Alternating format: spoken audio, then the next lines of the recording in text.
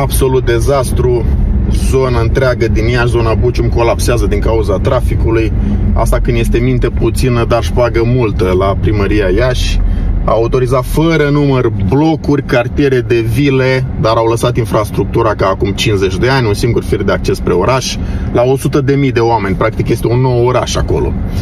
Am propus patru soluții pe care le puteți vedea în link două simple, făcute pe termen scurt și două pe termen mediu să deblocăm această zonă. Maculatură sau șters la fund, că ea nu interesează, că dacă nu vine de la grupul lor de șpăgari, atunci nu e bun. Asta se întâmplă și când construiești ca la Balamuc, dar nu ai și serviciile publice aduse. Nu ai școli construite noi, mari, pentru că mai orașul nou creat, grădinițe, creșe. Am propus și soluțiile astea.